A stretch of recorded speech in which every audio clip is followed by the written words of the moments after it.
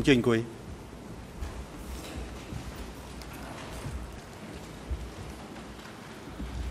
សូមអញ្ជើញលោកប្រញ្ញាមានសំណួរបន្ត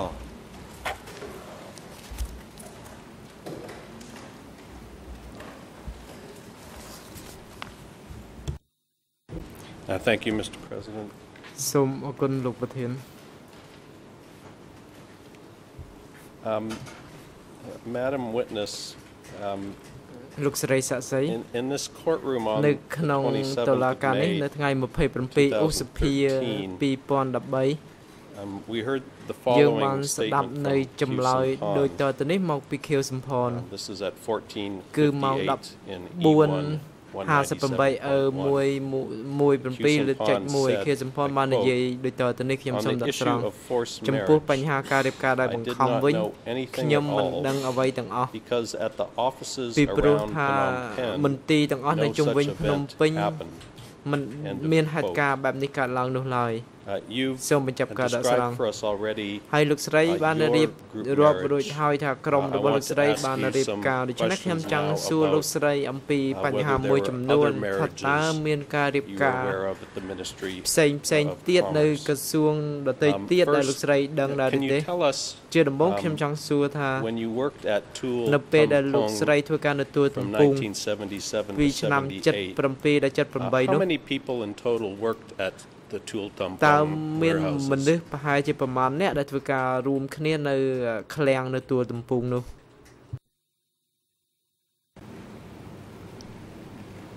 រួមគ្នានៅធ្វើការនៅកន្លែងមន្ទីរទួលកំពង់ហ្នឹងមានកងចល័តប្រុសប្រហែលមកកងធំ កងចល័តស្រីហ្នឹងប្រហែលមកកងធំដែរកន្លែងលោកអញ្ញារាជអញ្ញា នៅកន្លែងហ្នឹងរួមគ្នា តែកងចល័តប្រុសប្រុសហ្នឹងគេឲ្យទៅខាងសម្រិតសម្រាងខាងផ្លែកោនៅក្នុងវត្តទួលកំពង់តែមួយក្រុមដកប្រហែលមួយក្រុមហ្នឹងទៅខាងសម្រិតសម្រាងអនុផលជាមួយពួកខ្ញុំ នៅខាងលីសែងឡើងឡានចា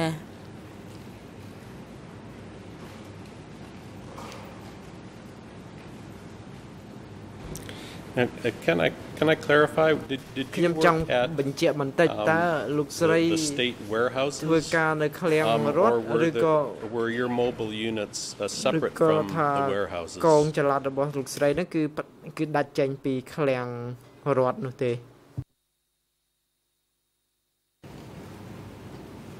ពួកខ្ញុំអត់មែននៅឃ្លាំងរដ្ឋទេ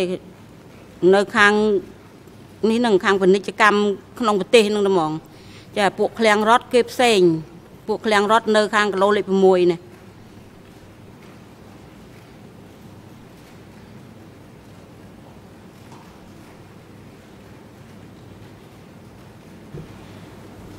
And uh, so, do I understand correctly អ that ញ្ there ចឹង were, as far as you knew, Ban there ni were no tha- warehouses used to store products លោក uh, at Tool ស្ Tampong? រីមិនមិនដឹងថាមានឃ្លាំងស្តុក ទំនិញនៅទួលទំពុងទេតែលោកស្រីចង់និយាយអញ្ចឹងមែនទេអត់មានមានឃ្លាំងស្តុបតែល្ងសណ្ដែកដីហើយនឹងឆ្អឹងឈើអេឆ្អឹងសัตว์តែប៉ុណ្ណឹងទេអត់មានសម្ភារៈអីខុសពីនឹងទៀតទេមានតែល្ងសណ្ដែកដីដែលសម្រិតសម្រាំងហើយនាំគ្នាយកទៅដាក់ឃ្លាំងហើយដល់ពេលឡានមកលីចេញពីឃ្លាំងដាក់ឡានយកទៅកំពង់សោមមានតែរបស់តែប៉ុណ្ណឹង ហើយនឹងសំសំឡៃកោនឹង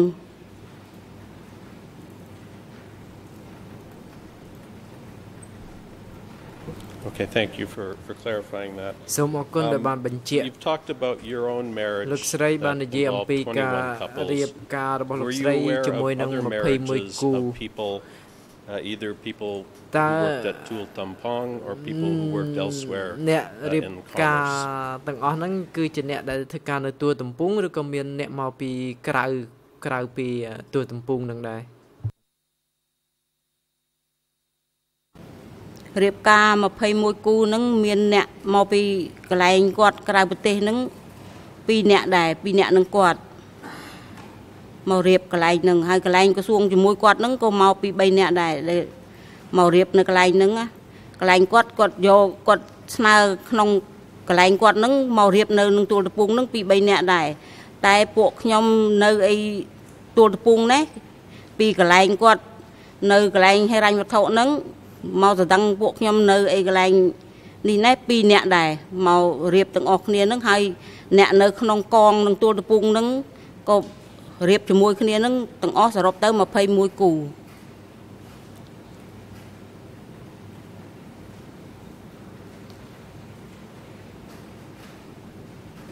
Um, My question may not have been clear. អឺប្រហែលជាខ្ញុំ Uh, សួរ My មិន question ច្បាស់ was, ខ្ញុំចង់ um, សួរថា were you aware of other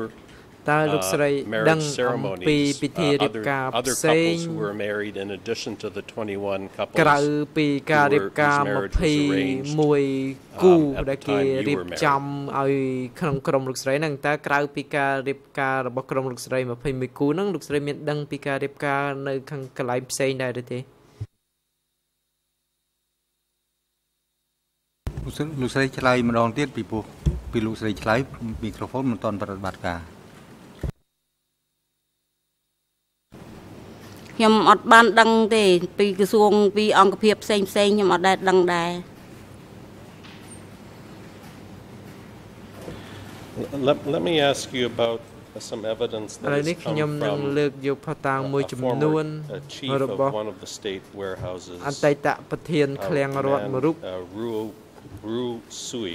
ឈ្មោះរស់ who's សុយ testified in this court before ដែលគាត់បានមកផ្ដល់សេចក្តីកម្មនៅតុលាការនេះនាពេល He's កន្ given លង an មក OCIJ interview នៅក្នុងកិច្ច in សម្ which ភាស he ជាមួយក describes ស his ចស involvement គាត់បាន in រៀបរួម organizing អំពីការដែល marriages គាត់ at the រៀប state ចំការ warehouses. រៀបការនៅ Uh, ឃ្លាំង and រដ្ឋ This is your honors uh, លោកលោកស្រីគឺ E3 ឯកសារអឺ slash 3លើ10 10 620 that's E3 6 16គឺអឺ3លើ10620 1062គឺ at answer 75សំណួរចម្លើយ75 um, and this is what he's what ហើយ he គាត់បាន uh, testified to ផ្ដល់សេចក្តីកម្មដូចតទៅនេះខ្ញុំសូមដកស្រង់ there was a plan គឺមានផែន which ការ required the unit ដែលតម្រូវឲ្ the យកង warehouse នៅក្នុង ministry ឃ្លាំង to have រដ្ឋ100 couples នឹង married រៀប per ការ month មនុស្សឲ្យបាន100គូ the ក្នុង marriage មួយខែ age was អាយុ over រៀប20ការ years គឺ old ចាប់ពី20ឆ្នាំទៅ and at answers 77 to ហើយនៅ78សំ of ណួរ the ចម្លើយ statement, 77 quote, 78គឺបាន The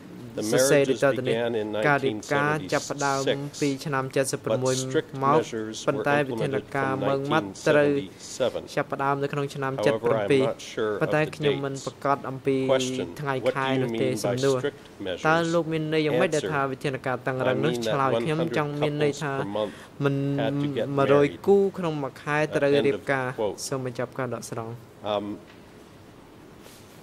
This comes from someone who was a ទាំង chief អស់នេះ of a គឺជា state ចម្លើយ warehouse. របស់ Uh, My ប្រធាន question to ឃ្លាំង you, រដ្ឋដូច្នេះខ្ញុំ Did you ចង់ ever សួរលោក hear ស្រីថាលោក about ស្រី a ធ្លាប់ plan ឮអំពីផែ by ន which ការ100ដែលថា couples had to be គេ married per ត្រូវ month? រៀបការមនុស្សឲ្យបាន and 100គូ did ក្នុង you មួយខែ know, ដែរឬទេ um, this person, Sui, តើ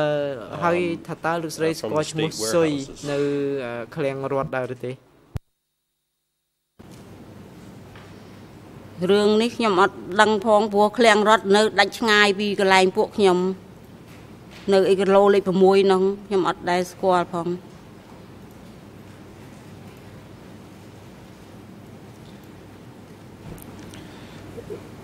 I asked you, uh, I asked you before whether Q ខ្ញុំ Samphan សួរ ever លោកស្រី came to visit មុននេះ to ថាតើ Kampong. ខៀវសំផន Um, ធ្លាប់ទៅ were ទួ you ទំ aware ពង់ of ដែរឬ any ទេដូច្នេះតើ study sessions លោកស្រី or ធ្លាប់ training ដឹងអំពី sessions វគ្គរៀនសូត្រឬ that ក៏ were វ led គ្គ by បណ្ដោះ Q បណ្ដាល Samphan, ណាមួយដែលដឹកនាំដោយ uh, ខៀវ for សំផន workers from the state សម្រាប់ uh, warehouse or the Ministry of Commerce.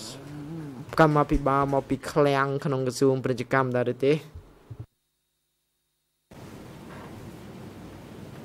វិញទៅមេធាវីគៀនផង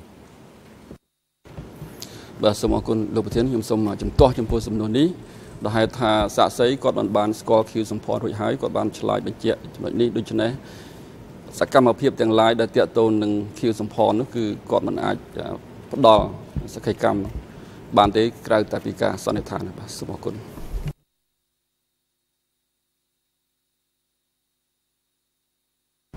Mr. President, I think that was the Look, point of my ប្រ question to ធាន find នេះ out គឺជា whether ចំណុចដែលខ្ញុំ um, ចង់សួរ she's នោះ heard ហើយ or knows ថាតើ anything on គាត់ another បាន subject, លឺ different ឬ subject to ក៏ what I បាន asked her before, ស្ which គាល់ is អំពី did ប្រ she ធាន hear បទដែល of ខ្ញុំនិ Q យាយរឿង Samphan, ហើយដែលថាសួរថា uh, គាត់ធ្លាប់ conducting study sessions លឺ and អំ training ពី meetings. ខៀវសំផនដឹកនាំការប្រជុំឬក៏វគ្គបណ្ដុះបណ្ដាលអ្វីនោះបរិស័ទកាយជំទាស់អង្គជំរះបន្តសំណួរអអង្គប្រញ្ញាបន្តសំណួរ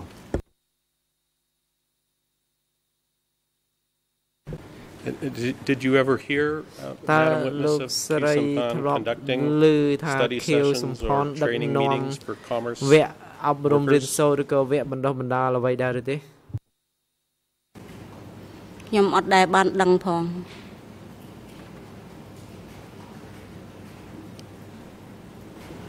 Uh, I want to, um, I want, I want to ask you about some testimony ខ្ញុំ that ច we ង់ heard សួរលោកស្រីអំពីសក្ខីកម្មមួយចំនួនដែលយើងបានស្ដាប់ឮកាលពី and, ម្សិលមិញ uh, this morning also ក៏ from ដូ a ច្ជានៅ female ព្រឹកមិញ civil party មកពី uh, ដើម in ម្ដង this រដ្ឋ case ប្រវិនីនារី who ម្នាក់ worked uh, for the Ministry of ដែលគាត់ Commerce ធ្វើការនៅក្រសួងពាណិជ្ជ uh, កម្ម and was ដែរ also forced to marry ហើយគាត់ក៏ uh, គាត់ត្រូវបានគេ yesterday បង្ខំឲ្យរៀបការ at កាលពី13:47សម័យនៅម៉ោង to 13:50 13:45 She គាត់ testified បាន about ផ្ដល់ a សក្ study ខីកម្មអំ session ពីវគ្គរៀនសូត្រ uh, មួយ conducted by Q ដែលដឹក Samphan នាំដោយ at ខៀវ the សំផន Unalom Pagoda នៅវត្តអូណាឡោ uh, ម at which he told a group of male and female youths ដែល the នៅក្នុង following ការប្រជុំហ្នឹងគឺ I quote, ខៀវសំផនបានប្រាប់ក្រុមបរិសុទ្ធស្ត្រី This is ដូចត referring ទៅ to នេះ Q ខ្ញុំ Samphan. សូមដកស្រង់ He said that គាត់ all បាននិយាយថា female cadres កម្មា need ភិ to បាលនារី work ទាំង for អ the ស់ state ត្រូវធ្វើការឲ្យ and រដ្ឋ those with the age from ហើយអ្នកដែល19មានអាយុ from uh, above 19 from all ចាប់ពី ministries 19 need ឆ្នាំ to be ឡើងទៅ arranged to ចាំ get បាច់ married. ត្រូវតែរៀប We ការ should not keep them យើង unmarried. មិនត្រូវទុកឲ្យពួកគាត់នៅលីវនោះ He ឡើយ said គាត់ that និយាយ they ថា should be married, ពួក get គេ married so ត្រូវ they would រៀប produce ការ children. ដើម្បីបង្កើតកូ And ន when they produce ហើយនៅ children, ពេលដែលពួក we គេ will បង្ have កើត more force កូន to គឺយើង defend our មាន territory. កងកម្លាំង End of ដើម្បី quote. ការពារទឹកដីរបស់យើងសូមបញ្ចប់ការដ Uh, កស្រង់ Madam Witness, um, លោកស្រីសាក់សី uh, did you ever hear តើលោកស្រី uh, ធ្ of លា a ប់ policy ឮ like អំពី this គោលនយោបាយ uh, បែបនេះ from ដែរ any ឬទេ party leaders? គឺថា uh, ធ្លាប់ read? ឮពីមេដឹកនាំបក Q ដែលធ្លាប់ Samphan, អាន anyone ឧទាហរណ៍ថា else? Does ខៀវ this សំ refresh ផ your នឬ recollection? ក៏អ្នកដតីណាគេធ្លាប់អានឬក៏និយាយអំពីគោលនយោបាយបែបនេះដែរឬទេតើវាធ្វើឲ្យលោកស្រីអាចនឹកឃើញពីហេតុការណ៍ណាមួយទេ រឿងអស់ទាំងនេះខ្ញុំអត់ដែលដឹងផង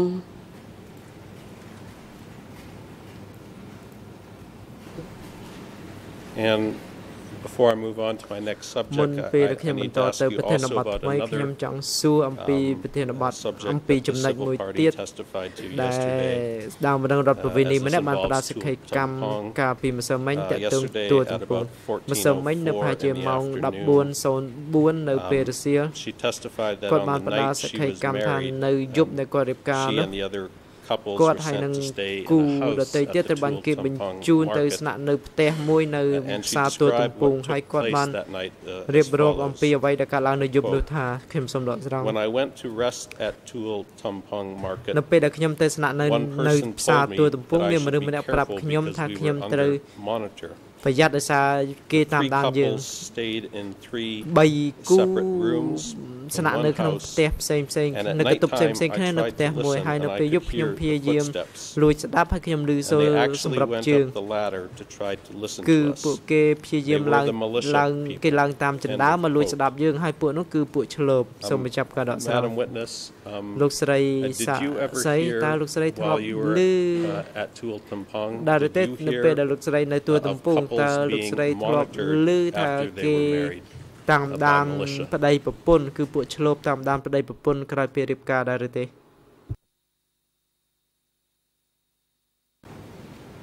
ខ្ញុំអត់ដែលឮផងព្រោះខ្ញុំរៀបវូចខ្ញុំទៅនៅឯកន្លែងហេរញ្ញវត្ថុនោះបាត់ហើយ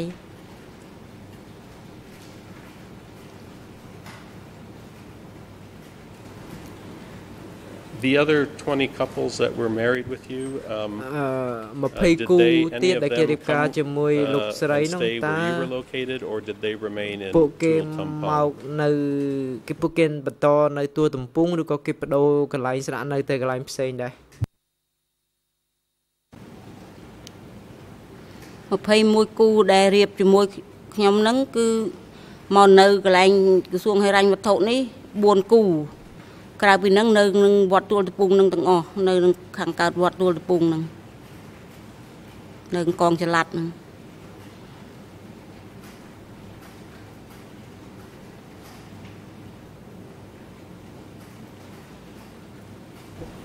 Okay, thank you. Um, សូមអរគុ Going ណ to turn now to a different ឥឡូវនេះ subject. ខ្ញុំនឹងបន្ត uh, ទៅប្រធានបទថ្ something មី you មួយ talked ទៀត about in your uh, DC cam តកតងទៅ interview. នឹងអ្វីដែលលោកស្រីបានឆ្លើយនៅ Um, ក្នុងកិច្ច can សម្ you ភាររបស់ tell មជ្ឈមណ្ឌលឯកសារ the court កម្ពុជា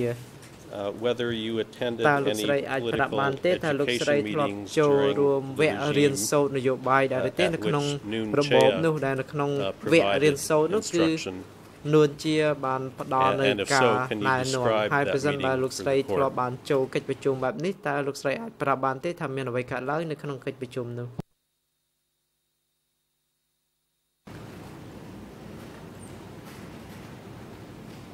កាលដែលខ្ញុំរស់នៅ ក្នុងរបបនោះគេហៅទៅប្រជុំនៅសាលាបរិយកីឡា ហើយមានតានួនជានឹងគាត់ជា អ្នកបង្រៀនបងពីវគ្គបណ្ដោះបណ្ដាលពីឲ្យយើងនឹងខិតខំធ្វើការងារឲ្យយើងគោរពអង្គការវិន័យគោរពបកគោរពអីនឹងគ្រប់ពេលវេលានឹងឲ្យខិតខំធ្វើការឲ្យបានល្អបង្កើតផល ធ្វើដូចថាយើងធ្វើស្រែអញ្ចឹងមួយហិកតាឲ្យបាន3តោនគ្រប់ពេលវេលាឲ្យគាត់អញ្ចឹងគាត់បាននិយាយអប់រំក្នុងសាលានឹង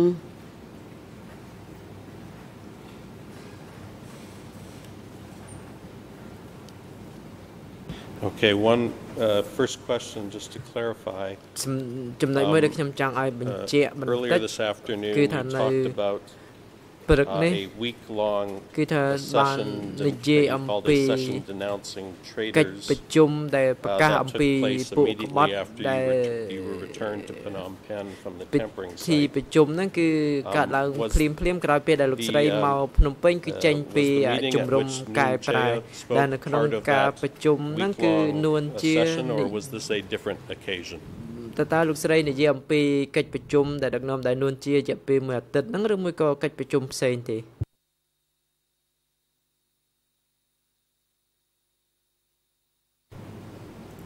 ដែលគាត់ហៅមកប្រជុំនឹងប្រជុំក្នុងពេលដែលខ្ញុំរៀបគ្រួសាររួចហើយនៅឆ្នាំ78នេះ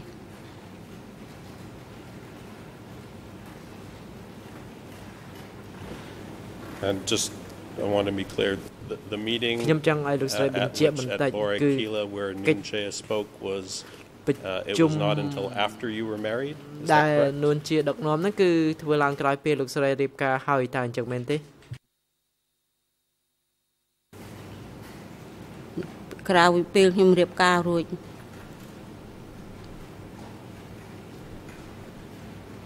And did Noon Chea at this meeting talk តើ about នួន arrests ជា of traitors? មានបាននិយាយអំ And ពី if so, ការ what ចាប់ did he ខ្លួន say? ជនក្បត់ឬទេបើសិនបើគាត់និយាយតើគាត់និយាយយ៉ាងម៉េចខ្លះ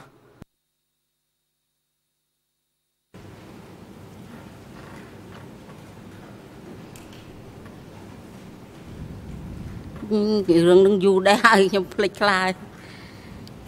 ខ្ញុំចាំបានតែគាត់គ្រាន់គាត់ថាឲ្យឲ្យគោរពអង្គការវិន័យខំប្រឹងធ្វើការងារបង្កបង្កើនផល ហើយឲ្យគោរពបកគោរពអ្នកដឹកនាំនឹង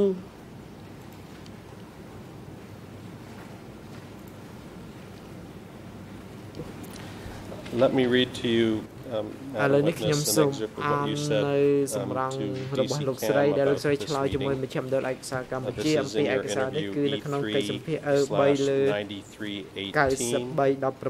9318 Khmer ERN មានលេខ00058269 2690ដល់2 70អង់គ្លេសមានលេខ00679460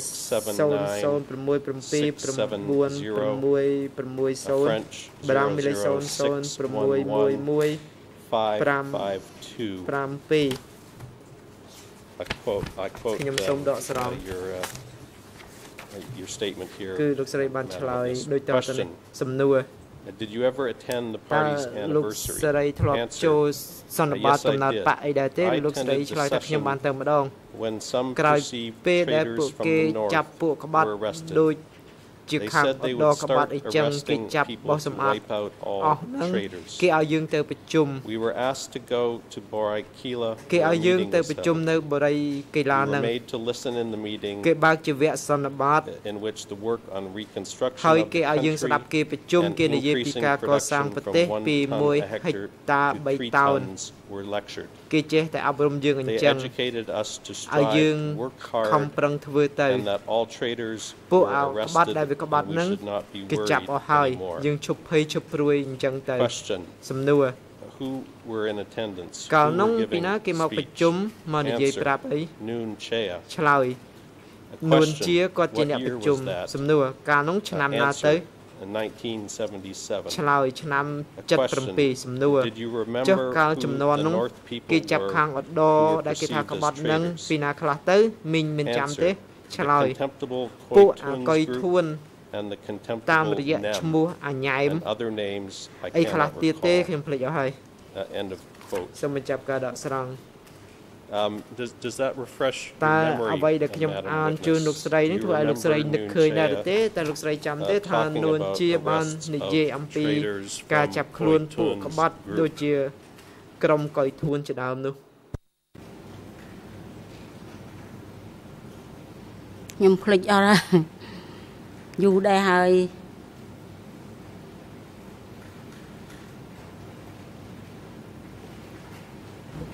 Now, you told at DC Cam that this meeting លោក was in ស្រីបាន 1977. ប្រាប់ Are- ថាកិច្ចប្រជុំនឹង Are you sure it ឆ្នាំ was in 77តើលោកស្រី or ចាំ is ទេ it ថាវា possible that your 77 memory ឬមួយ on ក៏ this isn't good and 78 that it was in អាច1977ថា when ដោយសារ this លោក meeting ស្រី took place? ចាំមិនច្បាស់គឺថាកិច្ចប្រជុំនឹងធ្វើនៅ77ឬក៏78កាលដែលចាប់ប្រជុំពួកអដក្បត់ហ្នឹងអាហ្នឹងពី77 ចាដល់ក្រោយមកខ្ញុំរៀបគ្រួសាររួច78នេះប្រហែលហើយកន្លះខែរៀបរួចកន្លះខែហ្នឹងអាហ្នឹងទៅរៀនភាសាទៀតចាប់យួនចូលនឹងត្មងហ្នឹងតែពីរវគ្គហ្នឹងទេ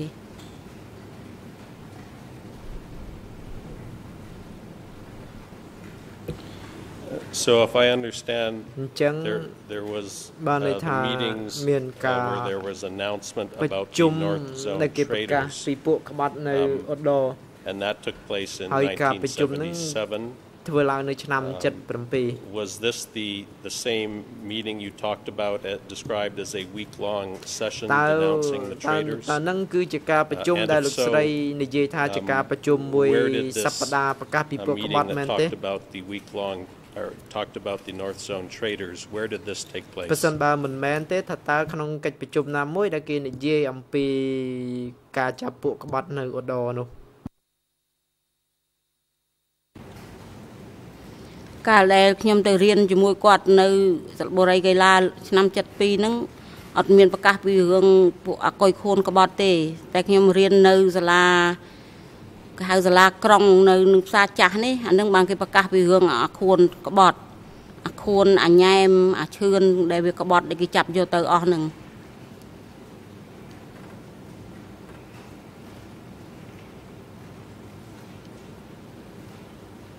And who, who conducted the study, study session តើ at SAR អ្នកណា Cha ជា um, អ្នកដឹកនាំការ that ប្រ talked ជុំនោះ about គឺការប្រ Khoi Thun ជុំដែលនិយាយអំ and ពី others? កុយធួនហើយនិងអ្នកដតីទៀតនោះហ្នឹងតាហុងគាត់នៅបើកវគ្គនៅហ្នឹង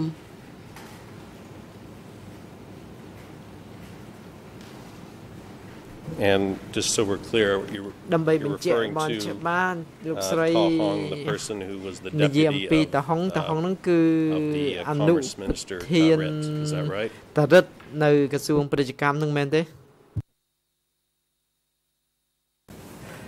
ចានៅក្រសួងពាណិជ្ជកម្មហ្នឹងតាហុងហ្នឹង គាត់ក្តាប់កាលដែលគាត់មុននឹងទៅនៅអីទួលតពងគាត់នៅក្តាប់នឹងផ្សារចាស់ហ្នឹង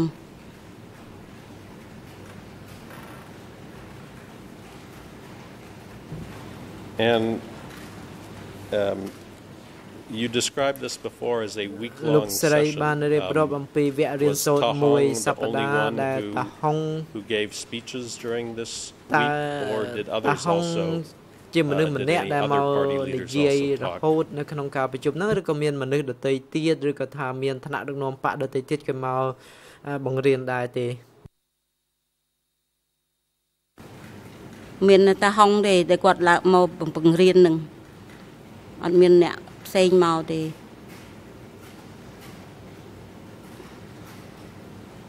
And how, how many people attended this meeting where តើ Ta Hong មាន talked about មនុស្សប្រមាណ uh, អ្នក among ដែល other ចូល things, រួមនៅ the, ក្នុង uh, ការប្រ traders ជុំ from the North ដឹកនាំ Zone? ដោយតាហុងដែលនិយាយអំពីពួកក្បាត់នរដនោះមានច្រើនគ្រប់ក្រសួងពាណិជ្ជកម្មក្រៅប្រទេសខាងផ្សារថ្មីនិងក្រសួងពាណិជ្ជកម្មនៅផ្សារចាស់នឹងចូលរួមគ្នាច្រើនគេហៅកន្លែងផ្សារចាស់នឹងក៏គេហៅ កងចល័តដែរប៉ុន្តែពួកខ្ញុំមិនដែលទៅនៅចូលរួមជាមួយទេពួកខ្ញុំនៅឯផ្សារថ្មីនេះទេប៉ុន្តែចូលរួមប្រជុំនឹងគឺច្រើនពេញសាលាមិនដឹងក្រសួងណាខ្លះហើយខ្ញុំអត់សូវដឹងដែរ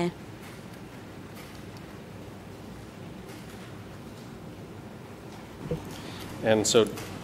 just to be sure I ពិចារណា understand, ដើម្បីបញ្ជាក់ឲ្យបាន understand ច្បា correctly, ស់ថាខ្ញុំ um, យល់អ្វីដែល there លោក was ស្រីចង់ one និយាយ meeting គឺ that ថា was មាន held, កិច្ច a ប្រជុំ week-long មួយ meeting ដែលមានរយៈ held ពេល in មួយ 1977, សប្តាហ៍ uh, ធ្វើឡើង after ក្នុង you ឆ្នាំ returned from the tempering site. 77ក្រោយពីលោកស្រីត្រឡប់មកពី presided ជំរុំ over by កែ Ta Hong. ប្រែហើយការប្រជុំនឹងដឹកនាំ Uh, ដោយ and តា then ហុង there was a different meeting ហើយបន្ទាប់មក in មានការប្រជុំមួយទៀត 1978, ក្នុងឆ្នាំ uh, at 78 Bori Kila, នៅបរិយ uh, កី led ឡា by Noon Chea. ដែលការប្រជុំនឹង Is ដឹក that នាំ correct? ដោយនួនជាអញ្ចឹងមែនទេ កាលនឹងដឹកនាំដោយតានួនជា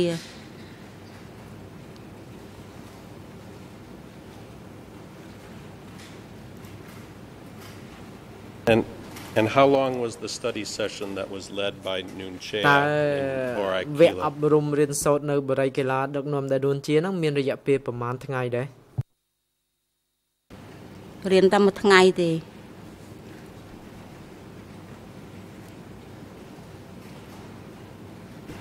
And uh, who, who were the people who attended this តើ study អ្នក session? ចូល How, រួ how ម many វគ្គ people រៀន and សូត្រនឹងមាន uh, ប្រមាណ who អ្នក were ដែរ there? ហើយពួកគាត់នឹងមកពីខាងណាដែរកាលដែលចូលរួមរៀននៅវគ្គក្នុងពេលរយៈមួយថ្ងៃហ្នឹងមនុស្សច្រើនណាស់ពេញមកសាលាបរិយកីឡាហ្នឹងប៉ុន្តែមិនដែលខ្ញុំអត់ដឹងថាមកពីក្រសួងណាខ្លះដឹងតែក្រសួងពាណិជ្ជកម្មក្នុងប្រទេសក្រៅប្រទេសហ្នឹងចូលទៅជាមួយគ្នា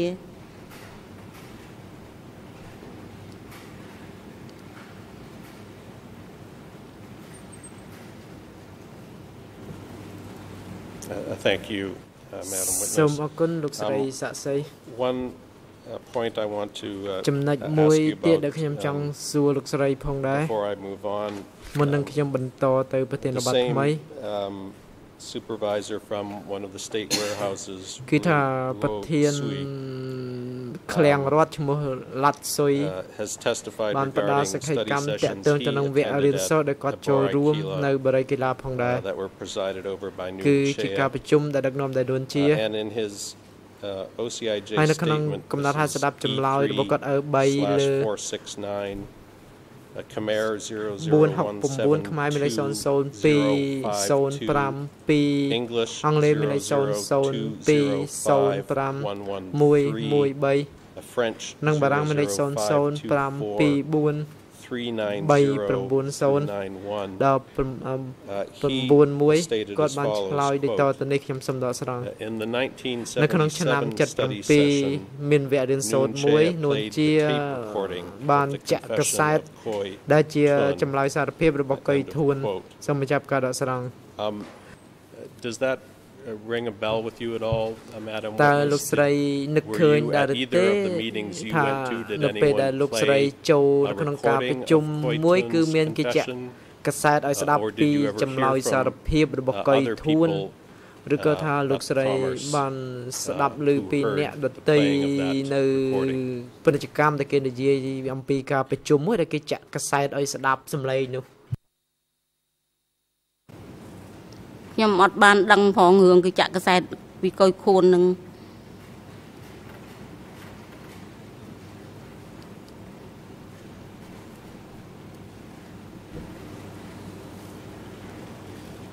I- I want to ask you um, uh, a few questions ខ្ញុំ now មានសំ about ណួរពីរបីទៀតដើម្បីសាក um, សួរលោកស្រី arrests តាក់ uh, ទងទៅ or នឹងការចាប់ disappearances of your ខ្លួន fellow ឬក៏ workers ការបាត់ during ខ្លួនរបស់ the regime, កម្មាភិបាលដែលធ្វើការ particularly in ជាមួយលោកស្រីជាពិសេស1977ក្នុងឆ្នាំ and 77 1978. ដល់ឆ្នាំ78 Um,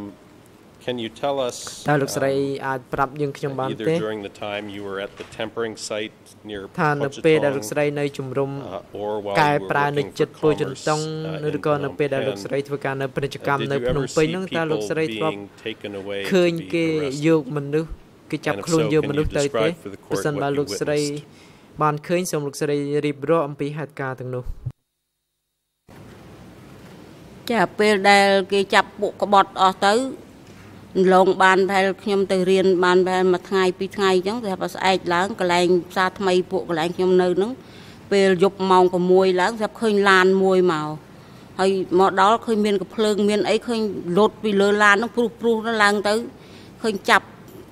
បន្តបន្ទាប់គ្នាទៅមិនដឹងចាប់យកទៅខាងណាខ្ញុំអត់ដឹងដែរពួកខ្ញុំក៏ឃើញអញ្ចឹងក៏អត់ហ៊ានចេញមកមើលដែរនាំគ្នាចូលពួនក្នុងផ្ទះវិញអស់ទៅ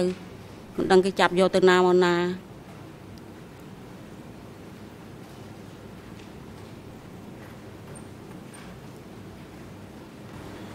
And uh, can you just tell, can you tell us where, តើ where was it that you saw លោក these ស្រី people being អាចប្រាប់បានទេថា um, arrested and put onto the truck? លោកស្រីឃើញគេចាប់មនុស្សដាក់ឡានហ្នឹងឃើញនៅកន្លែងណាដែរឃើញឃើញនៅមុខមន្ទីរចាត់ការផ្សារថ្មីនឹងឃើញឡានមកដល់ឈប់ទៅនឹងទៅឃើញលោតចុះពីលើឡានព្រុសព្រុសទៅឃើញឡើងទៅលើផ្ទះឡើងទៅពួកខ្ញុំក៏ឃើញហេតុការណ៍អញ្ចឹងក៏ខ្លាច ក៏អត់ហ៊ានមើលក៏នាំគ្នារត់ចូលក្នុងផ្ទះបាត់អស់ទៅដឹងគេចាប់ទៅណាមកណាអត់ដឹង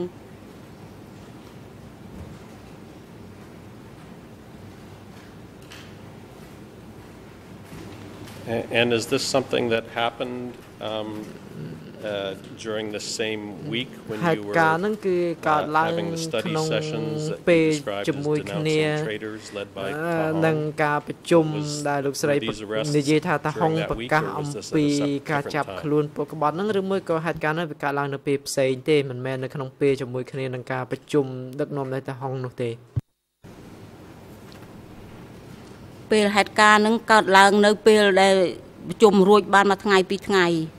ដូចថានៅស្រាវជ្រាវគេថាដូចថានៅតាមរយៈវាមិនទាន់អស់ហ่าពួកអដក្បត់ហ្នឹងលឺគេថាអញ្ចឹងក៏ចាយប់ឡើងឃើញឡានមកឈប់ទៅឃើញលោតព្រុសព្រុសទៅឡើងទៅចាប់សត្វពួកកម្មាភិបាលខាងគេហ្នឹងគេចាប់ដាក់ទៅក៏ពួកខ្ញុំក៏មិនហ៊ានមិនបានមើលដែរភ័យខ្លាចគ្រប់អស់គ្នានាំគ្នាចូលផ្ទះបិទទ្វារបិទអីអស់ទៅ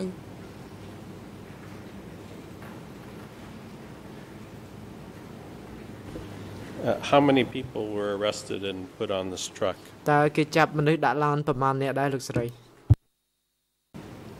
ពេលដែលព្រលឹមឡើងបានដឹងថាបាត់កម្មាភិបាល2នាក់ឈ្មោះអាភីមួយឈ្មោះអាដឿនមួយអាដឿនហ្នឹងនៅខាងកាន់ជីចែកចាយផ្សាររត់ហ្នឹង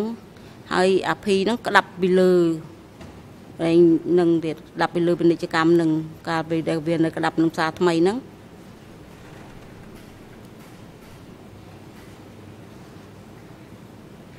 Who, who is it that informed you that these were the two people who had been arrested? តើអ្នកណាជាអ្នកប្រាប់លោកស្រីថាគេចាប់ខ្លួនមនុស្សពីរនាក់នេះប្រពន្ធគាត់ព្រលឹមឡើងប្រពន្ធគាត់ថា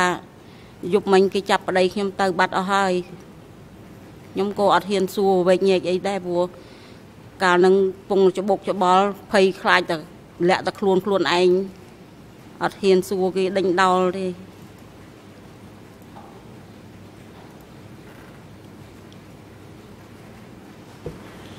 អូខេ let let me uh, I want to get some clarification ឥឡូវនេះខ្ញុំចង់ឲ្យលោកស្រីបញ្ជាក់បន្តិចនៅក្នុងកំណត់ហត្ថស្ដារចម្លើយជាមួយមជ្ឈមណ្ឌលឯកសារកម្ពុជាអឺ3លើ9318 this is at khmer គឺខ្មែរ0000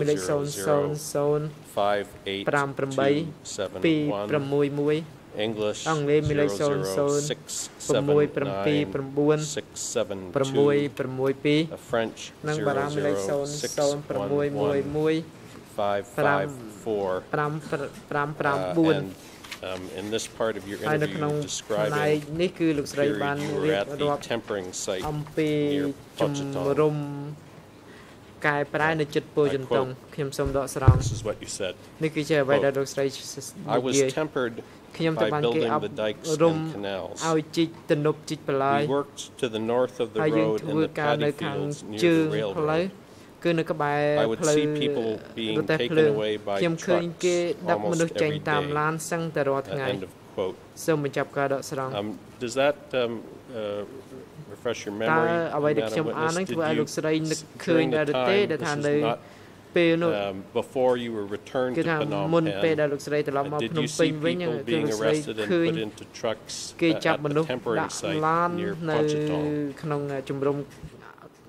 អប់រំកែប្រែនៅចិត្តពូចន្ទនពូចន្ទងនោះកន្លែងនឹងហើយដែលកន្លែងខ្ញុំទៅលុតដំគេចាប់នៅក្នុងកងពួកខ្ញុំនឹងត្មងល្ងាចឡើងឡាន ក្លុបមួយមកមកដល់ ស្រាប់តែទាញกระដាស់មួយមកហៅឈ្មោះព្រុសព្រុសទៅគ្នារត់រៀបចំខោអាវក៏មិនតាន់ដែរចេះតែបខំលឿនលឿនលឿនលឿនបញ្ញាប់គ្នាទៅឯងតាំងនេះណាខ្លះក៏ខោអាវនៅហាលអីមិនតាន់អត់បានយកទៅ ចាទៅម្ដងមួយឡានហ្នឹងឡានហ្នឹងមិនឡានធំប្រហែលនេះឡានតូចដែរទេឡាន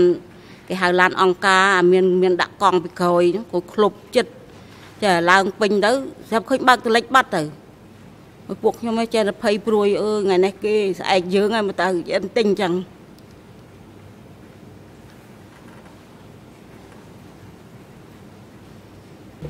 And y- you said in your ហើយ DC នៅក្នុង Cam interview that កិច្ចសម្ភាសជាមួយ um, មជ្ឈម this ណ្ឌលឯកសារ happened កម្ almost ពុជា every day. លោកស្រីឆ្លើយថា Is that correct, ហេតុ Madam ការណ៍ហ្នឹង Witness? កើតឡើងសឹងតែរាល់ថ្ងៃតើវាជាចំតើវាត្រឹមត្រូវដែរឬទេ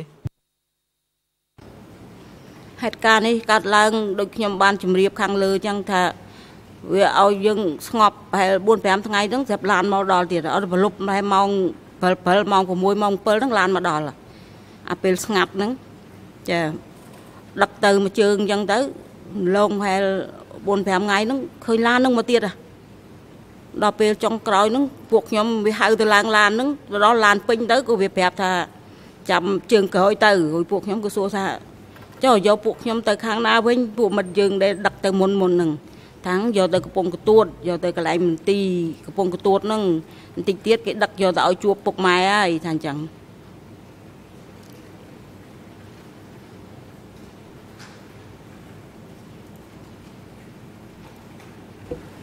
Uh, Thank you, Madam uh, Witness. សា Um, មរិញ្ញាសូមអរគុណ One more លោកស្រីដើ short ម subject to លោក cover ស្រី with you សាក់សី then. But I want to ជា go មានប្រ back ធានប just ទ for មួយ one ទៀត moment ទេ to the uh,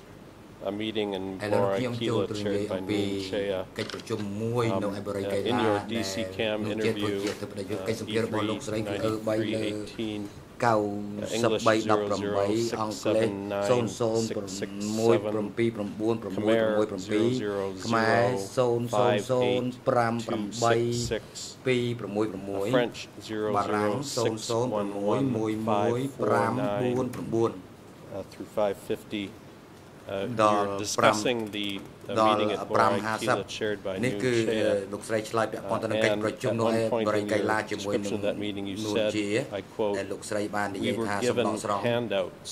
End of គេបាន quote. ចែកកូន Uh, សៀ Do វ you ភៅ remember what the handouts were ឲ្យយើងបញ្ចប់ uh, ការដក that ស្រ were ង់ distributed at the តើ meeting that was chaired កូ by ន Noon សៀវភៅ Shea? ដែលគេចែកជូននៅពេលដែលលោកស្រីប្រជុំជាមួយនឹងនួនជាជាកូនសៀវភៅអ្វីដែរ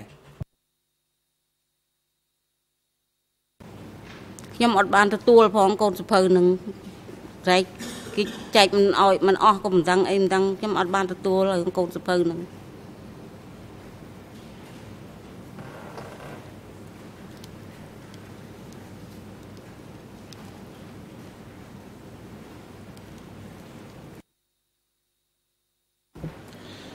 The, the last uh, subject um, I wanted to ask ស you ប្រិ about ញ្ញា today ប្រ is ធាន something ប we ទ talked ចុង about. ក្រោយដែលខ្ញុំត្រូវ in សួរ your អ្នកស្រី interview, នៅថ្ងៃនេះ um, គឺកិច្ច Did សម្ភារ you របស់ yourself លោកស្រី have uh, any មួយ relatives តើលោកស្រីនេះ uh, មាន who were សាច់ញាតិ arrested and killed ដែលត្រូវ during the បាន Khmer ចាប់ regime? ខ្លួននិងសម្លាប់ចោលនៅក្នុងរបបខ្មែរក្រហមដែរឬទេខ្ញុំមានបងបង្កើតមានបងជាដូនមួយ មានម្ដាយមីងនៅឯស្រុក គេចាប់យកទៅសម្លាប់ចោលនៅពេលនៅឆ្នាំ77បងប្រុសខ្ញុំជាប់និន្នាការធ្វើទាហានមួយខែ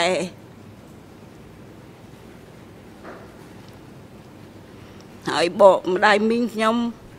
ច្រើន គ្រួសារវាយកទៅបាត់អស់ចោតគាត់ថាគាត់សិទ្ធិពុតពួកសក្តិភូមិយកគាត់ទៅសម្រាប់ទាំងពូជ កាលហ្នឹងខ្ញុំនៅទីក្រុងភ្នំពេញខ្ញុំអត់ដឹងទេដល់ពេលដាច់ទៅខ្ញុំទៅផ្ទះបាត់ដឹង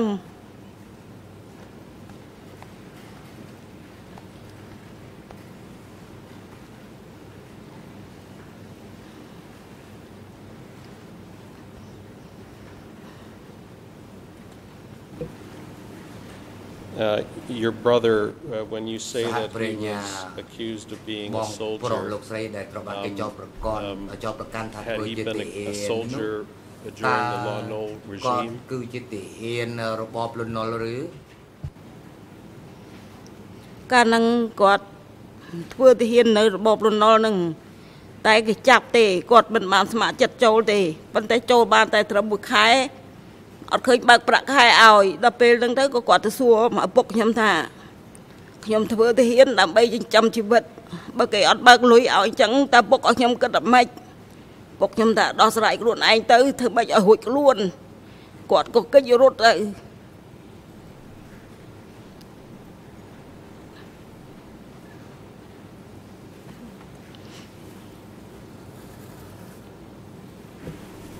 And uh, was it just your brother um, សហប្រ who was ញ្ញា killed, or តើមានតែ Uh, បង was- ប្រុសរបស់លោកស្រីទេ uh, ឬ what ដែល happened ត្រូវ to your បានគេ brother's uh, wife អឺ and សម្រាប់ son? ចោលហ្នឹងចុះប្រពន្ធរបស់គាត់និងកូនប្រុសរបស់គាត់នេះយ៉ាងម៉េចដែរចាប់យកទៅទាំងអស់តាំងពីកូនហើយនៅក្នុងពោះក៏មាន ចាប់ទៅបងថ្លៃខ្ញុំគាត់ឈឺពោះនៅលើឡានហ្នឹង វាអូសដៃឡើងទៅគាត់ស្រែកថាកុំអូសខ្ញុំខ្លាំងពេកខ្ញុំកំពុងតែឈឺពោះវាថាឈឺពោះក៏ដោយឡើងឲ្យផុតមកគង់ទៅដល់កន្លែងទីពេទ្យកើតទេចាដឹកដៃកូនឡើងទៅវាអូសឡើងទៅដល់លើឡានទៅ បងចដូនមួយខ្ញុំបើប្រពន្ធឈឺពោះដែរក៏ចេះអូសគ្នាឡើងឡានទាំងអស់ហ្នឹងទៅហើយទាំងពូជហ្នឹង3 4គ្រួសារហ្នឹងហើយម្ដាយមីងខ្ញុំហ្នឹងក៏គាត់យកទៅប្រហែល 3 4គ្រួសារដែរយកទៅហ្នឹងគាត់ទៅជលះចេញពីទីក្រុងភ្នំពេញទៅ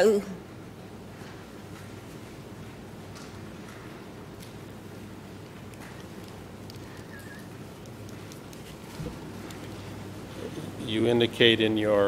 uh, សហប្រ interview ញ្ញាលោកស្រី that បាន your បញ្ជាក់នៅក្នុង brother, កិច្ចសម្ភាសន៍ um, មួយរបស់ his លោកស្រី pregnant ថា wife,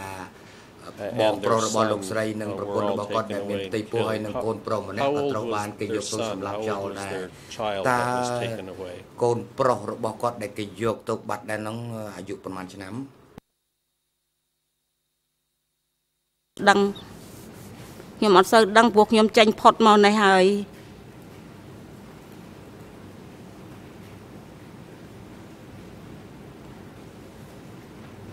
And you've already mentioned that this សហ is ប្រញ្ញា something លោក you ស្រីក៏ learned បាននិយាយ um, រឿង when ដ you កហើយថា returned នេះគឺអ្វីដែល uh, លោក to ស្រី your បាន home ដឹង um, នៅពេលលោកស្រី uh, ត្រឡប់ a ទៅផ្ទះ village after the នៅ regime. ឯភូមិ Uh, របស់លោក just so ស្រី we're clear, who, ក្រោ who យ is រ it បប that នោះដួល told you រលំ what had ទៅ happened to your តើ brother? អ្នកណាជា uh, អ្នក and ដែល his family? ប្រាប់លោកស្រីថាបងប្រុសរបស់លោកស្រីហើយនឹងក្រុមគ្រួសារទាំងមូលរបស់គាត់នឹង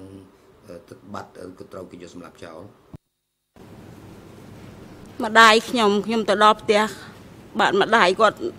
ប្រាប់ពីរឿងប្រវត្តិបងនឹងគេយកទៅសម្លាប់ចោលនឹង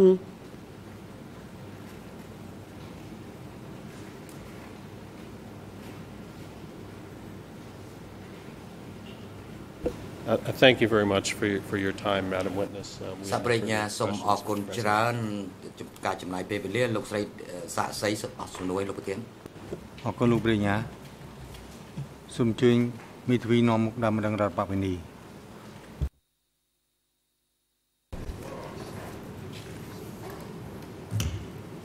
Merci, Monsieur le Président. Et...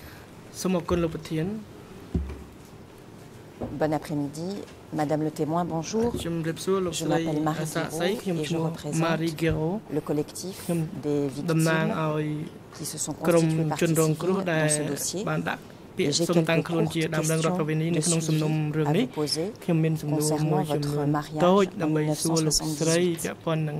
កស្រី1978ពាក់ព័ន្ធនឹងការរៀបអាពាហ៍ពិពាហ៍របស់លោក Vous ស្រី avez នៅឆ្នាំ expliqué la cérémonie et le, le 1978លោក vœu ស្រីបាននិយាយអំ que ពី vous ពិ avez ធី dû រៀបអាពាហ៍ prononcer ពិពាហ៍ ce ហើយនឹង jour-là ការបដិញ្ញានៅថ្ងៃនោះ Vous, avez, vous avez expliqué que Tarit លោកស្រីបាន avait euh, បញ្ présidé ជាក់ à ថា la តា cérémonie. រិតជាអ្នករៀបចំពិ Quelqu'un ធី vous នោះ a-t-il dit ce jour-là que vous deviez តើមាននរណាប្រាប់ consommer លោកស្រី votre ទេនៅ mariage ថ្ងៃរៀបការនោះថាលោកស្រីត្រូវតែរួមដំណេកជាមួយនឹងគ្រួសារលោកស្រី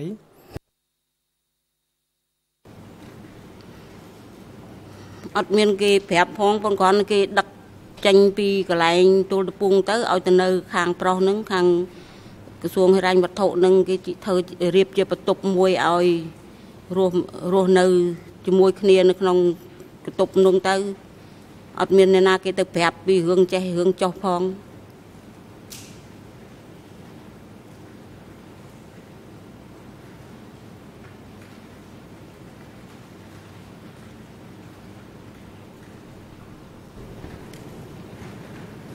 Pouvez-vous indiquer à la Cour si vous, vous et votre Donc, mari c'est à- avez je me consommé retourne de la le Caravane mariage Teta. après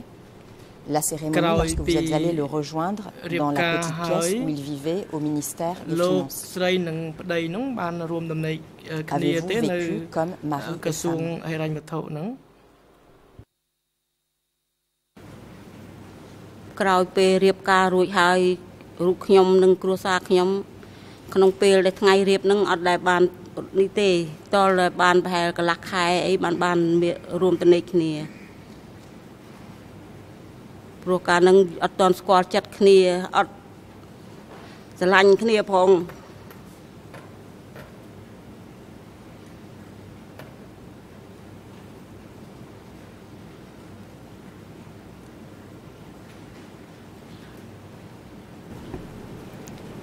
vous remercie de ces précisions. Lorsque Ça vous m'en avez connaît, le décidé de Stéban consommer Chalai le Bentia. mariage 15 jours ou un mois ពេល après, ដែលលោកស្រីសម្រេចចិត្ត Était-ce une រួមដំណេក décision ជាមួយ conjointe ប្តីលោកស្ de រី vous et de votre mari កន្លះខែក្រោយមកនោះពេលហ្នឹងគឺថាមានការព្រមព្រៀងគ្នាជាមួយនឹងប្តីលោកស្រីមែនទេចាកាលនោះគាត់ចេះតែនិយាយពីប្រវត្តិគាត់នៅផ្ទះបងប្អូនគាត់បែកបាក់គ្នាពីម្ដាយគាត់អត់បាយហូបស្លាប់អស់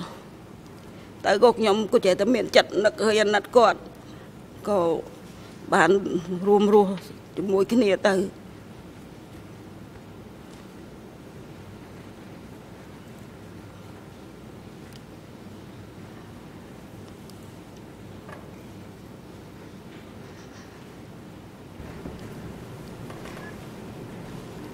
Avez-vous eu des enfants avec votre mari pendant le régime Non, du Amlong Kampuchea Rabab. démocratique Êtes-vous កម្ពុជាប្រជា tombé ធិបតេយ្យ enceinte តើលោកស្រីមាន pendant le régime ផ្ du ទៃពោះ Kampuchea ទេ démocratique ខ្ញុំអត់មានទេដល់ខ្ញុំមាន មានមកទៅនៅក្នុងជំរំទៅហើយបានខ្ញុំមាន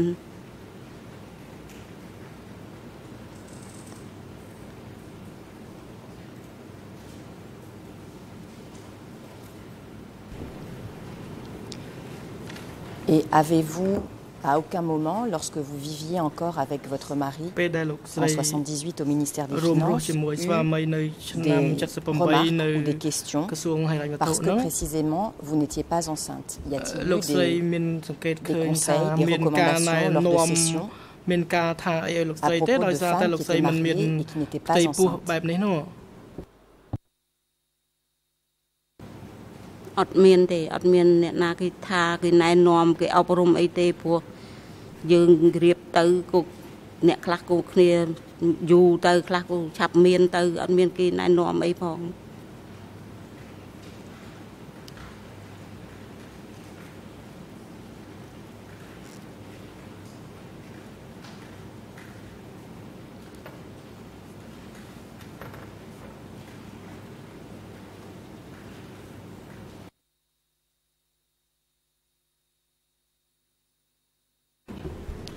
Pouvez-vous indiquer à la Cour, et ce sera ma, ma dernière question, et je laisserai la នេះជា parole à សំ mes ណួរចុង confrères ក្រោយ qui របស់ ont ខ្ញុំខ្ញុំ quelques នឹង autres បកគល questions វេទិកា suivies. ជូនសហភាតារបស់ Combien de temps Knyom. avez-vous vécu avec votre mari après votre Ta- mariage ក្រោយពីរៀបការហើយហ្នឹងលោកស្រីបានរួមរស់ជាមួយប្តីហ្នឹងបានរយៈពេលប្រហែលខែដែរ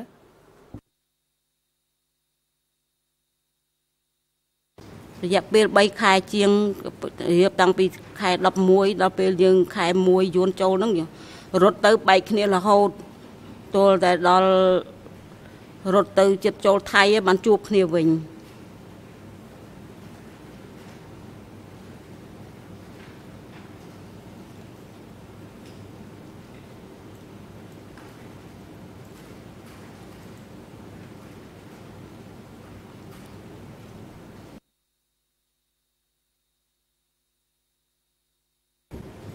Et vous êtes resté avec votre mari ហើយ après le régime ក្រោយពីរបប en 79 et ខ្មែរ après ក្រហមឆ្នាំ79ហ្នឹងលោកស្រីនៅរួមរស់ជាមួយប្តីលោកស្រីទេក្រោយពីរបបខ្មែរក្រហមដែលខ្ញុំរត់ចេញផុតទៅនឹងទៅបានទៅជួបគ្នាទៅនៅក្នុងដីថៃហើយបានជួបជាប្តីគ្នារស់នៅជាមួយគ្នាហ្នឹង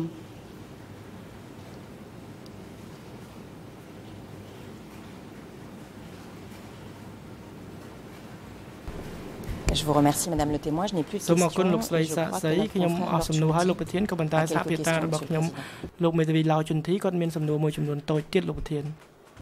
សូមអញ្ជើញលោកមេធាវីនោះតាមរងរដ្ឋបវិនីបាទអរគុណលោកប្រធានសូមគោរពអង្គជំនុំនេះទាំងមូលខ្ញុំបាទឡៅចន្ទធីមកពីអង្គការជំនុំផ្នែកច្បាប់កម្ពុជាក៏ជាមេធាវីដើមដឹងរដ្ឋវិនីដែរ តទៅនេះខ្ញុំបាទសូមសួរសំណួរអឺបន្តពីអឺម៉ារីបន្តិចគឺចង់បញ្ជាក់លោកស្រីថានៅអឺមុនថ្ងៃដែលរៀបអាពាហ៍ពិពាហ៍អឺរៀបការហ្នឹងតើលោកស្រីបានអឺដូចថាអឺយល់ព្រមមុនឬមួយដឹងមុនក្នុងរយៈពេលប្រមាណ ប្រមាណថ្ងៃមុនឬមួយយ៉ាងម៉េចយ៉ាងអឺដឹងពេលវេលាមុនមិនដែរបាទ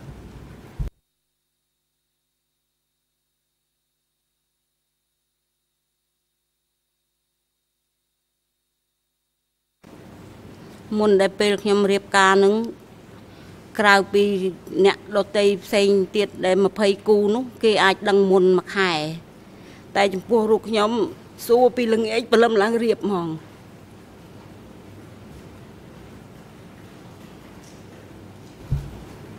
បាទអរគុណថាតើគេគេបានប្រាប់លោកស្រីថាម៉េចបានអឺថាបើមិនគោរពគេឬមួយគេបានជំរាបថាយ៉ាងម៉េចណាអឺពាក្យដែលគេពងាកជំរាបហ្នឹងថាគោរពអង្គការវិន័យឬមួយគោរពយ៉ាងម៉េចបានយើងអឺអាចរៀបការទៅកើតបាទ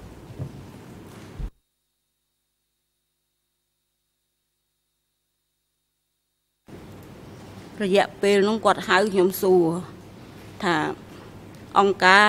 ឲ្យម្ដាយមានគ្រួសារតើម្ដាយថាម៉េចដែរខ្ញុំថាខ្ញុំអត់ទាន់យកទេគ្រួសារទៅគាត់ថាពេលនេះបើមិត្តមិនយកក៏នៅតែអង្គការរៀបឲ្យដែរមិត្តមិនគោរពអង្គការវិន័យទេឬខ្ញុំក៏ថាអង្គការវិន័យខ្ញុំគោរពប៉ុន្តែចំពោះគ្រួសារខ្ញុំអត់ទាន់យកទេគាត់ថាត្រូវតែយក ព្រលឹមឡើងសមមិត្តរៀបខ្លួនទៅខ្ញុំដឹកខោអាវយកមកឲ្យខ្ញុំក៏មិនហ៊ានប្រកែកនឹងគេក៏ព្រលឹមឡើងឃើញគេដឹកខោអាវយកមកឲ្យមែនបាទអរគុណតើអឺលោកស្រីអាចជំរាបបានទេ ទៅអង្គជំរះថាអឺអ្វីដែលគេរំលឹកថាជាអង្គការវិន័យហ្នឹងមានអត្តន័យយ៉ាងម៉េច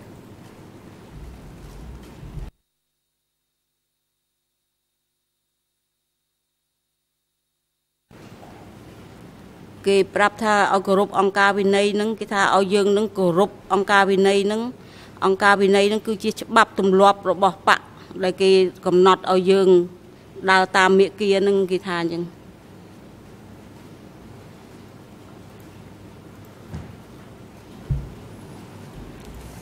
ចុះនៅក្នុងពេលហ្នឹងប្រសិ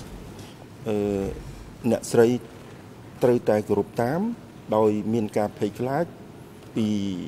រឿងអ្វីដែរអត់ទេបាទ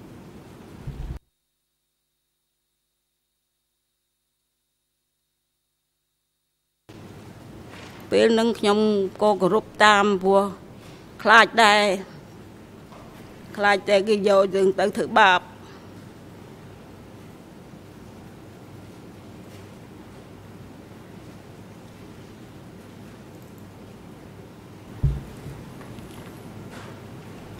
អឺខ្ញុំចង់ជំរាបសួរថាពេលដែលរៀបការ21គូហ្នឹងពេលរៀបការរួចអ្នកស្រីបានលើកឡើងហើយថាអឺមានការរួមរស់នៅជាមួយគ្នាប៉ុន្តែគូដតីទៀតអឺគេនៅខាងទួលលពងថាតើអឺចំពោះគូដតីទៀតហ្នឹងអ្នកស្រីបានទទួលព័ត៌មានទេថាតើពួកគាត់ហ្នឹង រួមរស់នៅជាមួយគ្នាដោយអឺស្រួលទៅដែរឬមួយអត់ទេបាទ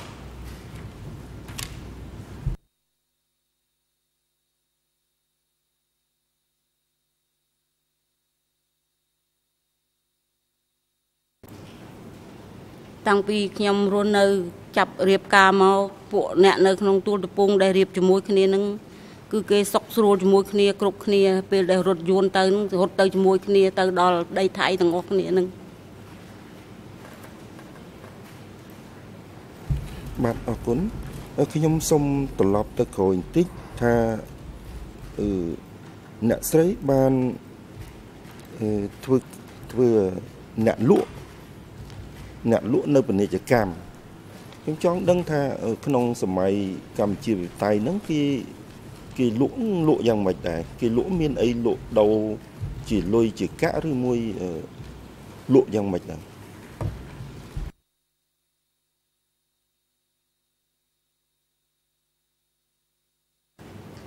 ខ្ញុំសុំសួរពីសួរខ្ញុំនឹងថាលក់កាលពីខ្ញុំទៅចូលមួយលក់នៅទីក្រុងផ្សារថ្មីអឺសំទោលក់នៅផ្សារថ្មីក្រោយហើយបាទ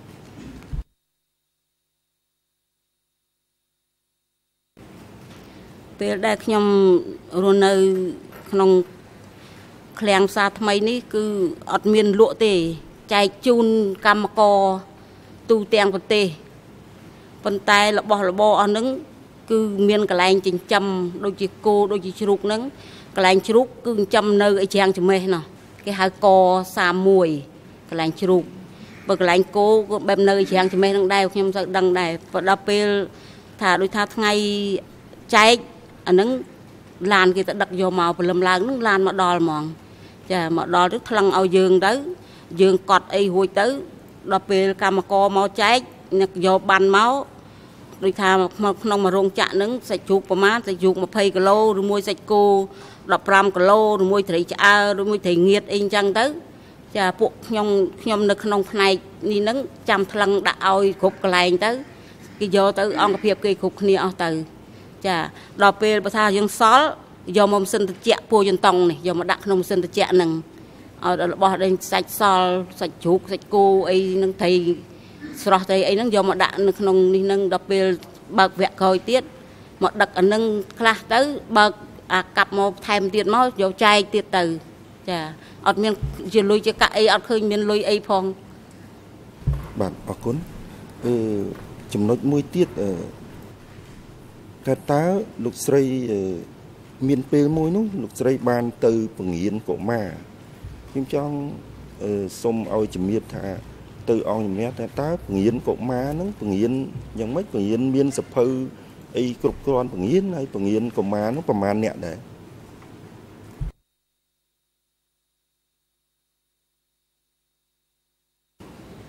កាលដែលខ្ញុំបង្រៀនកុមារនៅទីស្រុកដំបង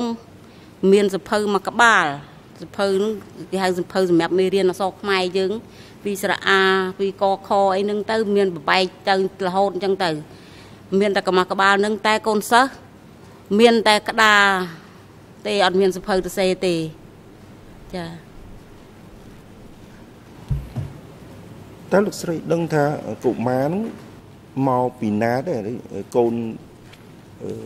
ខាងខាងណា កូនកម្មាភិបាលឬមួយកូនប្រជាជនយើងនៅម្ដុំហ្នឹង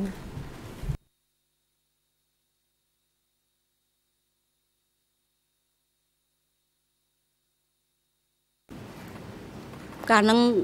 ខ្ញុំអត់សូវដឹងដែរប៉ុន្តែកុមារខ្លះនៅកូនអ្នកជំលះ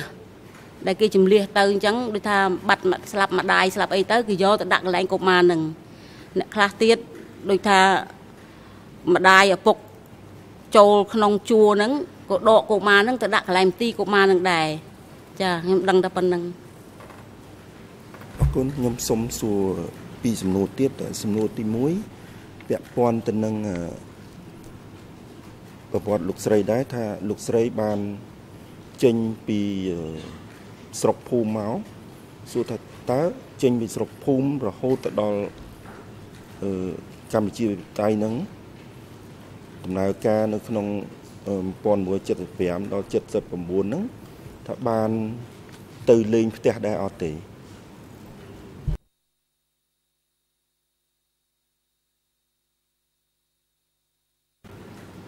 ពី79ដែលដាច់ទៅនឹងខ្ញុំបានទៅលេងផ្ទះម្ដង ទៅនឹងជំនាន់នឹងខ្ញុំទៅដល់នៅតែពុកម្ដាយខ្ញុំចាស់ចាស់នៅនឹងផ្ទះ ហើយប្អូនខ្ញុំចូលកងចល័តបងស្រីខ្ញុំក៏គាត់ចូលកងចល័តអស់ដែរតែជំនាន់នឹងខ្ញុំទៅដល់គាត់មិនទាន់ហូបបាយរួមទេគាត់នៅហូបបាយតាមផ្ទះការ75នឹងដែលខ្ញុំទៅលេងនឹងចា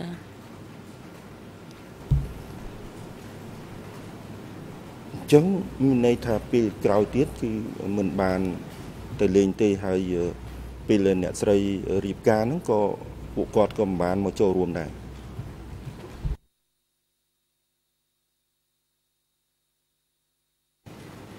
ពេលក្រោយមកកាលពីមុនក្រោយដែលពេលខ្ញុំទៅនឹងខានទៅដល់ពេលឆ្នាំ70ដែលខ្ញុំទៅនៅក9ហ្នឹងក្នុងឆ្នាំណាផងនេះឆ្នាំ75ដែរតែឈ្មោះហងលេងហ្នឹងគាត់ឈួតកាលហ្នឹងគាត់ឲ្យគេឲ្យទៅរៀននៅវត្តអណាឡោមដល់ពេលគាត់ទៅរៀនទៅគាត់ដូចយ៉ាងម៉េចទេនិយាយអត់ដឹងខុសដឹងត្រូវទេកាលហ្នឹងចា គាត់ផ្ញើខោអាវនឹងគេជាមួយគេអ្នកទៅរៀនហ្នឹងអ្នកប្រុសហ្នឹងប្រធានឈ្មោះអាពីហ្នឹងប្រធានក្តាប់នៅកន្លែងហ្នឹងចាដល់ពេលគាត់យកទៅដល់ពេលគាត់យកខោអាវពីអាពីហ្នឹងមករៀបទៅមួយទឹកឃើញពោះនៅក្នុងខោអាវតាំងពីនឹងមកគាត់ចាប់និយាយលវើលវាយរហូតដល់ពេលគាត់មកវិញគាត់មកវិញគាត់ចេះតែមកហៅខ្ញុំមកមិត្តឯងខ្ញុំទៅរៀនខ្ញុំឡើងគណៈឯងខ្ញុំបាក់ឯងយុបកកអីណាយនៃស្រែងគាត់ថាអញ្ចឹងទៅគាត់ថាខ្ញុំនេះ អង្គការចាត់តាំងគាត់ឲ្យធ្វើនិរសាថាអញ្ចឹងគាត់និយាយអត់ដឹងអីអញ្ចឹងណាចាដល់ពេលថ្ងៃមួយឈ្មោះអាឡុញហ្នឹងគេប្រធាននៅក្តាប់ហ្នឹងគាត់លឺនិយាយមិនដឹងអីចឹងក៏គាត់ស្មានថាគាត់ថាចង់ចោតអង្លេងហ្នឹងទៅជាសន្តិសម្ព័ន្ធថាខ្មាំងអញ្ចឹងណាចាដល់ពេលនេះទៅក៏គាត់ឡើងទៅឡើងទៅខ្ញុំនេះក៏នៅឯនឹងដែរនៅក្នុងផ្ទះនឹងដែរក៏គាត់ថាមើលមិនលេងមិនឯងជាមិនបានមិនឯងនិយាយមិនដឹងអីចឹង គោគាត់លើកជើងកងតាក់ខ្លាបឹបមិនអឡញហែងចង់អាមិនអញគណៈឯងសតិឯងអង្គការប្រពាក់អញគណៈបកពេលយុបកោអ่ะថាចឹងហែងចង់ធ្វើម៉េចថាចឹងដល់ពេលនេះថាស្ទុះវឹងមកមកច្បាច់កឡញហ្នឹងដល់នេះខ្ញុំឯងក៏ធ្វើអោបគាត់ពីក្រោយអោបទៅខ្ញុំស្រែកឲ្យឡញហ្នឹងចោះចាញ់ទៅណាខ្ញុំថាឡញឯងចុះទៅចុះឲ្យបាត់ទៅដល់ពេលចុះបាត់ទៅគាត់មកកញ្ញៃខ្ញុំដល់មកកញ្ញៃខ្ញុំខ្ញុំក៏កវែងគាត់ដួលទៅខ្ញុំក៏រត់ដែរទៅ ទៅចាប់វក់តាំងពីនឹងទៅដល់ចាប់វក់ទៅខ្ញុំចេះថាលេងគាត់នឹងឈួតហើយកុំធ្វើបាបគាត់អាពួកនេះនឹងចេះចោតគាត់ថាគាត់នឹងខ្មាំងគាត់នឹងដូចថាចង់ធ្វើធំអញ្ចឹងណាទៅជាលវើលវាយចោតគាត់ថាសតិសម្ព័ន្ធថាអីអញ្ចឹងទៅក៏ខ្ញុំចេះប្រាប់គាត់ថាកុំអាចចោតគាត់អញ្ចឹងអីមើលគាត់សិនទៅថាអញ្ចឹងដល់ពេលនេះទៅគាត់វក់ខ្លាំងទៅ គាត់ទៅជាស្រាត់ខោស្រាត់អាវយកគាត់ទៅដាក់នៅលើឡាវនឹងខែនឹងខែលងាផងកា75នឹងគាត់ស្រែកហៅឲ្យខ្ញុំនឹងយកអីអីទៅឲ្យគាត់ព្រោះខ្ញុំមិនហ៊ានទៅទេខ្លាចគាត់វាយនោះដល់ពេលនេះទៅក៏សម្រេចចិត្តថាយកទៅពេទ្យ17ថាយកទៅពេទ្យ17ទៅដល់ពេទ្យ17ហ្នឹងស្រាប់តែពួកខ្ញុំប្រាប់ថាលេងឯងមកពេទ្យបងឯងនៅស្ងៀមទៅបើពេទ្យមកចាក់ឲ្យពេទ្យចាក់ផងអឺថាខ្ញុំចឹង ដល់ពេលខ្ញុំមកវិញផុតពេទ្យយកបាយយកថ្នាំទៅចាក់វាយពេទ្យផ្អើលពេញមន្ទីរពេទ្យហ្នឹងចាទៅពេទ្យគេចាក់សោចាក់សោដាក់ច្រវាក់ទៀតទៅដល់ពេលនេះក៏ទេមកហៅកន្លែងខ្ញុំវិញថាឲ្យមកយកអ្នកជំងឺហ្នឹងមកវិញមកដល់ពេលនេះពួកខ្ញុំទៅយកដល់ខ្ញុំទៅយកទៅគ្រាន់តែបើកទ្វារទៅខ្ញុំហៅពួកនឹងអត់ហ៊ានចូលទេហ៊ានតែខ្ញុំមួយទេទៅខ្ញុំហៅអងលេងគាត់នៅលឺមាត់ខ្ញុំគាត់ស្ទុះវឹងមកអោបខ្ញុំអើយអូនហើយ មិត្តឯងធ្វើនារសាខ្ញុំមិត្តមិត្តឯងអត់យកបាយឲ្យខ្ញុំហូបអញ្ចឹងគេបង្អត់បាយខ្ញុំខ្ញុំថាបងឯងវាយគេបងគេបង្អត់បាយខ្ញុំថាអញ្ចឹងណាឥឡូវតោះទៅកន្លែងយើងវិញតោះទៅកន្លែងវិញក៏ខ្ញុំបដើមកពួកពេទ្យអ្នកជំងឺអីរត់ឡើងលើឡាវអស់ខ្លាចគាត់វាយចាដល់ខ្ញុំយកមកដល់កន្លែងវិញអាពីរនឹងយកទៅដាក់លើឡាវនឹងទៀតដាក់ចាក់សោគាត់ចោលនៅលើឡាវនឹងសំទោសអឺរឿងហ្នឹងដូចជាវែងប៉ុន្តែ រឿងកាត់ចុងក្រោយតែយ៉ាងម៉េចរឿងហ្នឹងខ្ញុំបានយកទៅគេថាឲ្យយកគាត់ទៅមើលនៅវត្តព្រៃចានៅស្រុកខ្ញុំហ្នឹងចាគោឲ្យខ្ញុំនឹងជូនគាត់ទៅ ចាបានទៅឲ្យផ្ទះម្ដងនឹងដែរពីរដង បានទៅមួយផ្លែតទេអាសាក្រោយគាត់ជូនទៅ ដាក់គាត់នៅកន្លែងវត្តគ្រូដែងមើលហ្នឹងទៅខ្ញុំឡប់មកវិញខ្ញុំបានឈៀងចូលផ្ទះមួយផ្លែតហើយបានត្រឡប់មកវិញនឹងបានពីរដងនឹង ចាអាសាក្រោយហ្នឹងអត់បានយូរទេបានតែមួយផ្លែតទេគ្រាន់តែចូលទៅអើតឃើញម៉ែឪនេះហ្នឹងប៉ុណ្្នឹងគឺហូបបាយរួមហើយអរគុណលោកធានខ្ញុំមកស្មូនអរគុណលោកធីវីឥឡូវដល់ពេលជួបសម្រាប់ហើយអង្គនេះប្រកាសផ្អាកកិច្ចដំណើរសវនាការសម្រាប់ថ្ងៃនេះត្រឹមនេះហើយសវនាការនឹងបន្តធ្វើនៅថ្ងៃស្អែកថ្ងៃប្រហោះទី1ខែកញ្ញាឆ្នាំ2016ចាប់ផ្ដើមពីម៉ោង9ព្រឹក លោកស្រីផាន់ហ៊ីមសវនាការស្ដាប់ប្រតិកម្មរបស់លោកស្រីនៅមិនទាន់ចប់នៅឡើយទេហើយអង្គនេះក៏អញ្ជើញលោកស្រីនិងបុគ្គលិកអង្គការ TPO មកបន្តផ្ដល់សកម្មកម្មនៅថ្ងៃស្អែកទៀតសវនាការនៅថ្ងៃស្អែកអង្គជំនះនឹងធ្វើសវនាការស្ដាប់សកម្មសាកសីផាន់ហ៊ីមបញ្ចប់ហើយអង្គជំនះសូមរំលឹកដល់ពិគីថានៅថ្ងៃស្អែកនេះបន្ទាប់ពីបញ្ចប់ការស្ដាប់សកម្មសាកសីផាន់ហ៊ីមអង្គជំនះនឹងស្ដាប់សារណាផ្ទាល់មាត់របស់ភាគីពាក់ព័ន្ធទៅនឹងការកោះហៅបុគ្គលដែលមានរហស្សនាម PTCE 93សូមភាគីជ្រាបនិងអញ្ជើញចូលរួមតាមពេលវេលាកំណត់បង្កប់ឲ្យនរៈមន្ទីរគុំឃាំងនាំខ្លួនជាប់ចោតចោតទាំងពីររូបលោកនុនជានិងលោកខៀវសំផនត្រឡប់ទៅកាន់មន្ទីរគុំឃាំងនៃអវតកវិញចុះនិងបង្កឲ្យនាំខ្លួនគាត់ត្រឡប់ចូលរួមសវនាការនៅថ្ងៃប្រហោះទី1ខែកញ្ញាឆ្នាំ2016ឲ្យបានមុនម៉ោង9ព្រឹកសូមអញ្ជើញសម្រាប់